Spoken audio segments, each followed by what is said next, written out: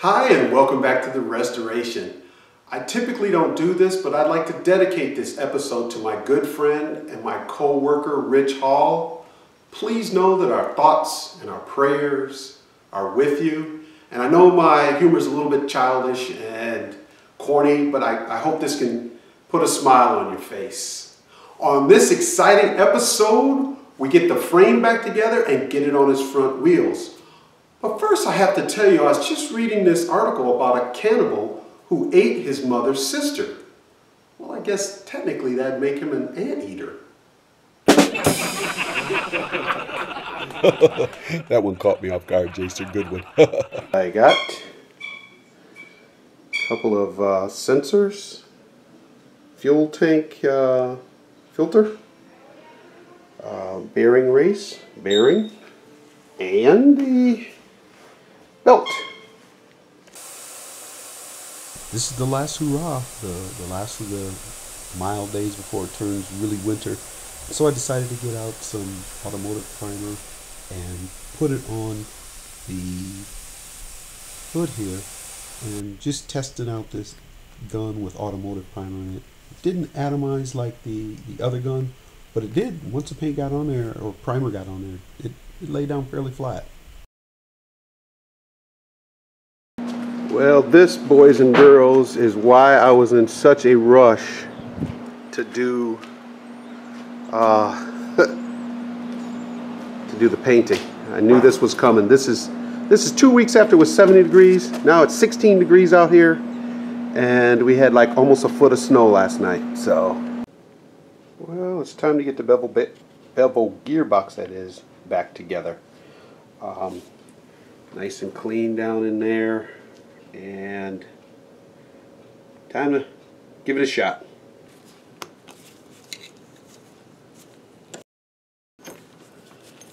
Well, I got it on by starting it right there on that little lip and pushing it around, but it was not easy by any stretch of the imagination.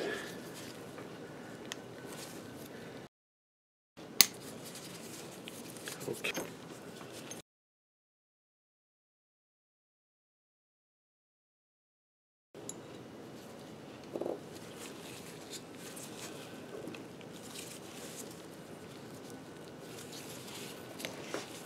Alright, I'll bearing type thing. Gently tap it. There we go. Okay. That's in place.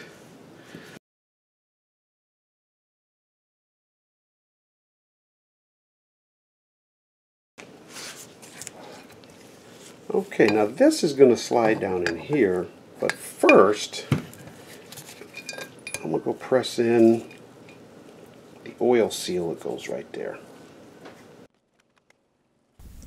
So I oiled up the oil seats and the uh, oil seals, put the oil seals in and the bearings.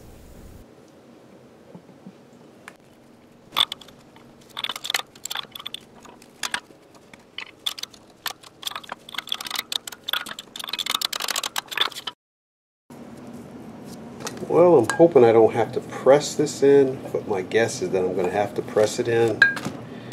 Goes right down into here.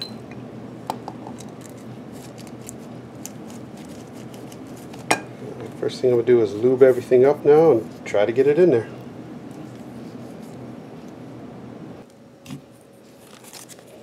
Okay. Oh, it went in. Awesome. Now I just got to do is lock this baby down now.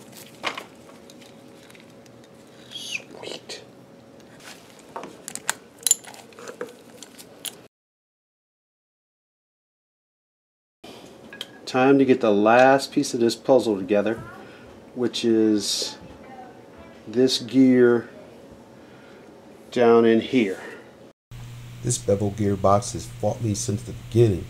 I'm using heat, I'm using freezer, I'm using everything I got to try to get this thing back together.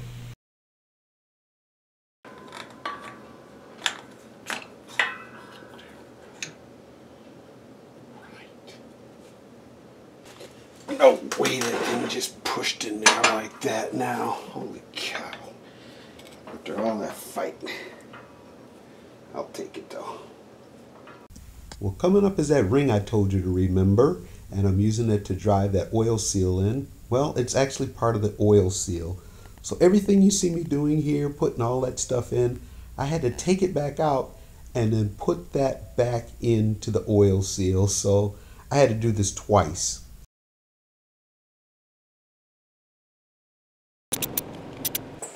All right, what you're gonna do is you're gonna take this and we're trying to get it around the edges there, see?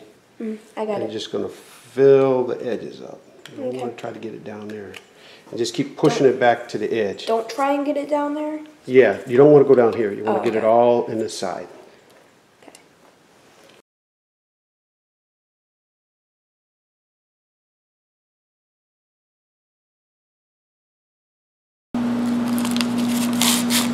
Still a little pitted at the top. Yeah, you're not gonna be able to get the pit side.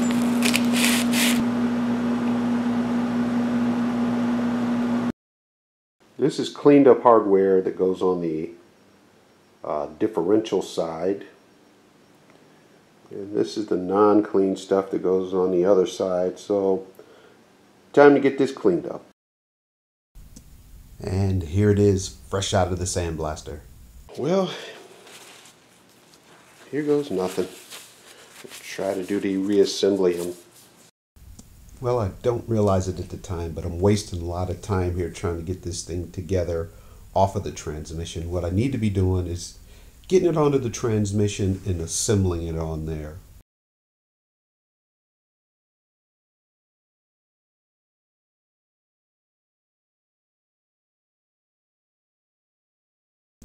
And talk about messy, this grease was everywhere.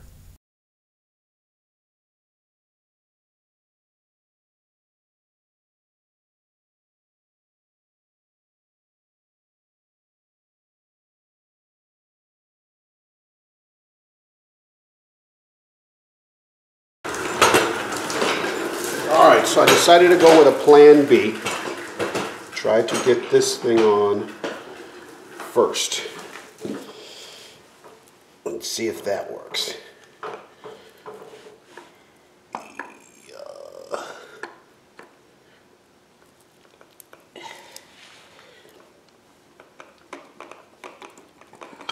right.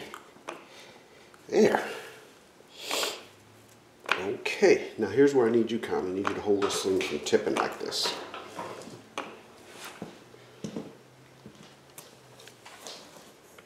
There you go. Okay, we're gonna try this again. Now, when I say try this again, I had already tried it once. A lot of the grease gets pushed out on the other side. What a messy, messy job that is. Now, what you see me messing with is the grease seal. And I'm telling you what, that thing was crazy hard to get on. It's, it's like a flat rubber band. And I tried to get it on there and I couldn't, so I tried the other side. Now I'm back and I got it on there finally, but man, did that take some time to do. And now you see my son really helping me.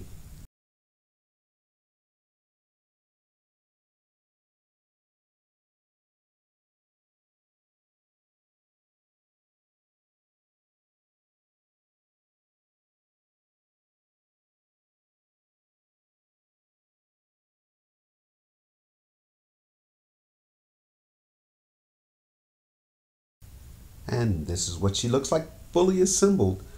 Man, it took some time, but it's back together. One of the things that I'm looking at on here is on this reassembly. There's a little bit of a gap in there. And so on that steering back and forth. So what I'm going to do, it looks like about oh, an eighth of an inch or so. I'm going to make a bushing so that there's no play into that. I'll make that on the lathe. Well, I dropped that big one inch and an eighth socket on there, knocked the chip out, so I just put a little paint in there. This is on the bottom of the frame, so I just kind of degreased it, took a brush, put that paint in there, and covered it up. It's a 100% chance that once you get some paint on something, something's to fall on it and chip it. Crazy. Okay, here's my table of hardware. And um, as you can see, we got the bevel gearbox numbered stuff here. And it's uh, one, two, three, four, five, and six. Um, also, I, as I was taking it apart, I labeled them in reverse order, so I should be able to put them in 83, 84, all the way up to 100 if I could go back in time, I'd label them a little bit better, with a little bit more detail on it, because it's been so long, I've forgotten. But this is all the stuff that I just labeled as parts, but without putting them in order, like the blade bracket and stuff like that. This, as I started taking it off, I started putting it in order of how I took it apart. So that'll help me a little bit on trying to get it back together. Well, I put some pipe dope on both of these for the bevel gearbox. Got that tightened up. I'll wipe off that excess here in a second. And man, I'm here to tell you, here are my tools up here, my painted frame down here, and I showed you the one chip, and when you know it, I dropped another ratchet on there, another chip, and then my table fell on it, a third chip. So probably not a good idea for this thing to be right there, so I got to figure out where to put it. This is stuff off the steering column. needs to be clean, degreased, and derusted.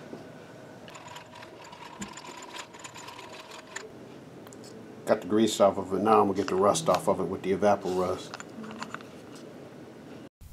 The Evapor-Rust did a great job at taking the rust off, especially like off the machine surface. Now on the bolt heads that were so pitted, I kind of put that out in the sandblaster later. Well, I made that thrust washer on the lathe and was off on the sides. It's too thick. But I had bought a washer earlier and that fits fine. It's perfect size to be the thrust washer for that part. Well, here are those Preston bushings that are in there. You can see there's one on this side, one on the other. And here's the other one. I'm to load this up with grease. Get that in there. Get it on the tractor. Once again, historic steps here.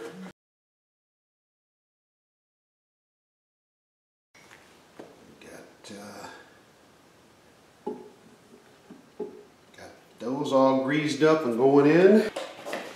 This thrust washer here. Now we'll get this on.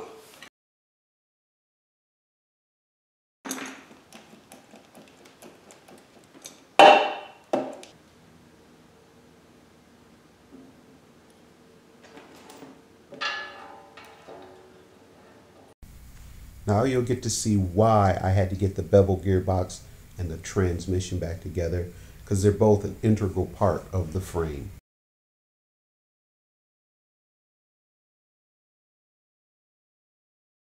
There are a couple of shims on this side here that uh, go against the seal and so I'm putting a little bit of grease on them to hold them in place while I put this other side on.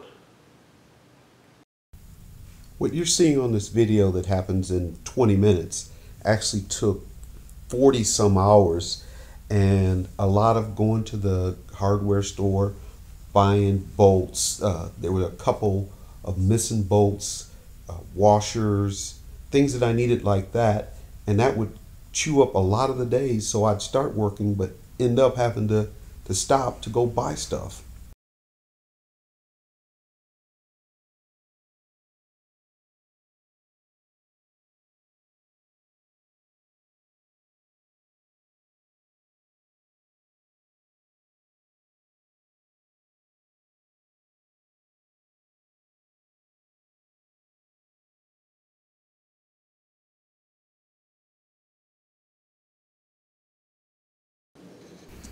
Well, with the back half of the frame on, now it's time to prepare the paint chips that I knocked out.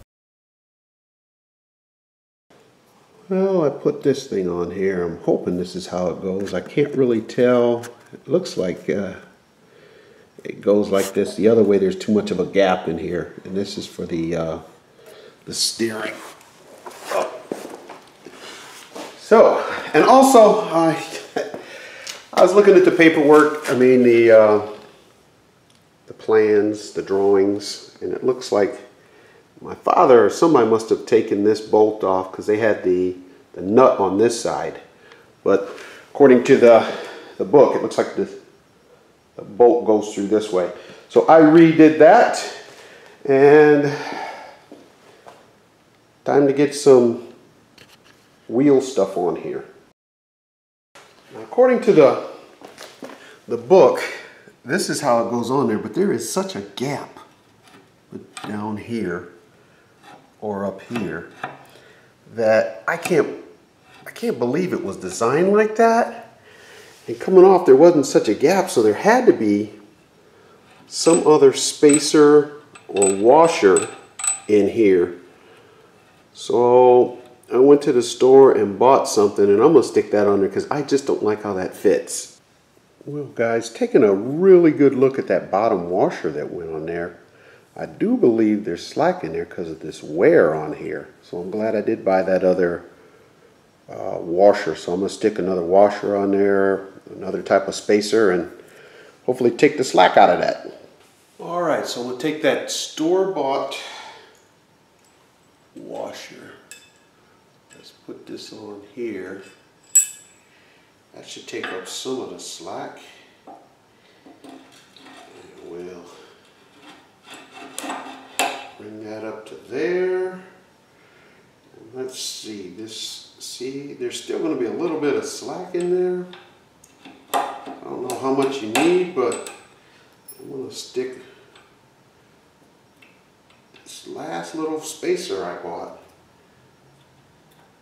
Put it on there and see what we get. I think that's much better. It's just got like a, oh, a sixteenth of a, of an inch play in that.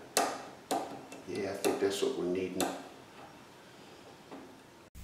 Now these are small pieces of brass plugs that I cut off and I'm going to stick it down in the holes that connect to the axle so that they don't leave those big old marks in it that it does. I don't know if that's the approved way of doing it, but I'm going to really torque down on that because it's a softer metal and hopefully it won't leave those dents in the axle. I was pretty lucky because there's two seals that uh, go on those fronts and they have a little rubber here and metal on the back. Well, this one there's no rubber on it.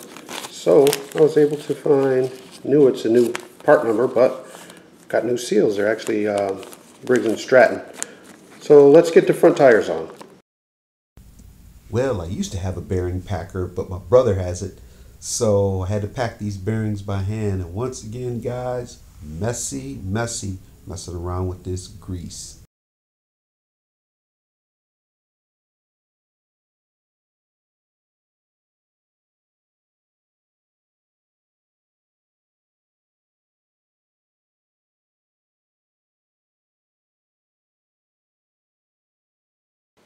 Ta-da! Well, uh, she's on the front wheels and the back wheels not quite yet. Um, there's a couple things I'll show you here. The reason I'm kind of trying to hold off and not put the back wheels on yet is there are pulleys that go here, here, here, and here. And instead of trying to fight around the wheels, right now I'm going to just leave it here till I restore those pulleys. Those pulleys need to be restored. And then I can get the back wheels on and this will be a rolling chassis. Not bad though, I um, quite happy. Uh, as you can see, a lot of the hardware, the fastener type stuff, um, it needs to be protected somehow. And what I think I'm going to do is just take a paintbrush and uh, brush some paint onto there. Anywho's, there she goes. Shh.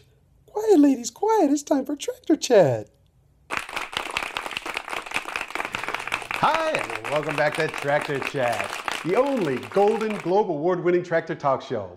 For those of you who are just tuning in, you have missed a crazy cool show. Denise Richards was here. Denise! Now, when most men hear the name Denise Richards, you naturally think diesel fuel pumps. But we learned today not only is she an expert on the entire diesel fuel system, but on the gas fuel system as well. A hot Hollywood starlet and an expert on all things fuel related. Wait a minute. My producers are saying we only have time for one more viewer letter. This one is coming to us from Selena Gomez out of Malibu, California. And it says, Dear Jster, 1963, my name is Selena Gomez, and I am a hot Hollywood starlet. As a matter of fact, I'm so good looking when Spanish men lay eyes on me, they say, Achihuahua. Now, for my non Spanish speaking audience, that translates, gee whiz, she is a nice looking lady and probably has a nice personality. Jster, I enjoy watching El Tractor Chato on the Spanish channel Telemundo. And we were just wondering, when are you going to sing a Spanish tractor love song? Well, you know, that's a good question, Selena Gomez. And to be honest with you, Jennifer Lopez and I are writing a Spanish tractor love song as we speak. Oh, breaking news, breaking news. This just in, hot off the presses. It seems that the East Coast supermodels have accused the West Coast hot Hollywood starlets of deflating their tires during a recent tractor pull.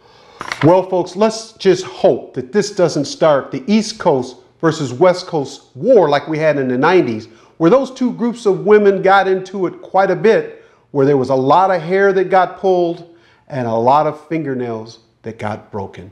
Well, that's all the time we have today on Tractor Chat. See you next time. Same tractor time, same tractor channel. Hi, and welcome back to Tractor Chat, the only golden. Honey,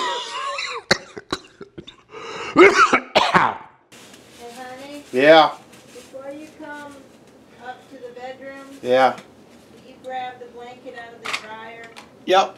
Thank you. You're welcome. That wanted being a daredevil.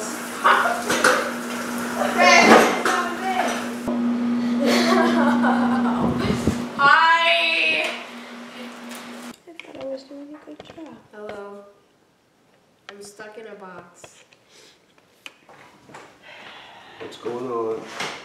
Got some kid who licks his lock and bites him Why is he doing that? because he said he's crazy.